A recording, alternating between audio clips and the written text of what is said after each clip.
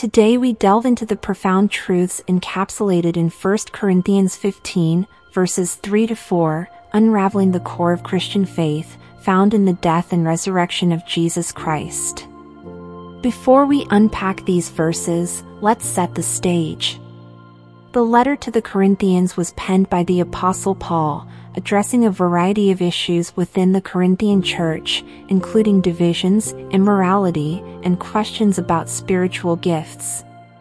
In chapter 15, Paul tackles the topic of resurrection, a crucial doctrine that underpins Christian hope and belief.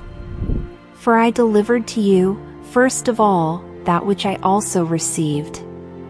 That Christ died for our sins, according to the Scriptures, that he was buried, that he was raised on the third day, according to the Scriptures. In the opening of verse 3, Paul declares the foundational truth of Christ's sacrificial death.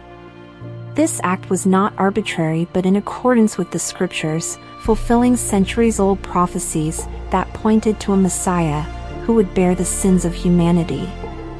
The significance of Christ's death lies in its atoning power, offering reconciliation between God and mankind.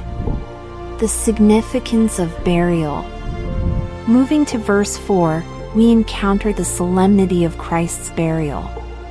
His placement in the tomb signifies the reality of his physical death, highlighting the genuine human experience of suffering and mortality. This aspect of the narrative underscores the completeness of Christ's sacrifice, leaving no doubt about the reality of his death.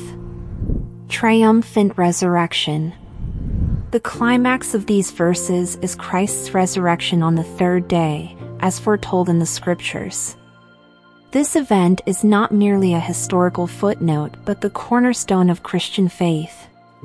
The resurrection validates Christ's divinity, his victory over sin and death, and the promise of eternal life for all who believe. Exploring the depth of redemption. At the heart of 1 Corinthians 15 verses 3 to 4 is the theme of redemption. Christ's death and resurrection form the bedrock of our salvation, offering forgiveness, restoration, and the hope of new life. This profound act of love demonstrates God's unwavering commitment to reconcile humanity to Himself. Implications for believers. Understanding the depth of Christ's sacrifice has transformative implications for believers. It calls us to a life of gratitude, humility, and devotion. We are invited to embrace the reality of our redemption and live as ambassadors of Christ's reconciling love in a broken world. Application in daily living. How does this theological truth translate into practical living? It invites us to daily communion with God, recognizing the ongoing work of redemption in our lives. It motivates us to extend grace and forgiveness to others, mirroring the love we have received. It compels us to share the gospel boldly, inviting others into the journey of redemption and reconciliation. Living out redemption. Beyond theoretical understanding, living out the message of redemption involves a lifestyle of faith, obedience, and service.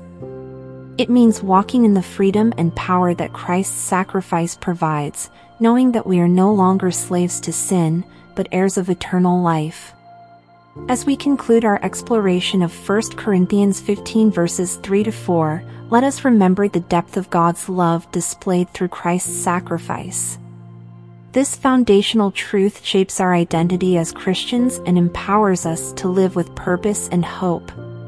May we continually abide in the richness of redemption and proclaim the message of salvation to the ends of the earth. Amen.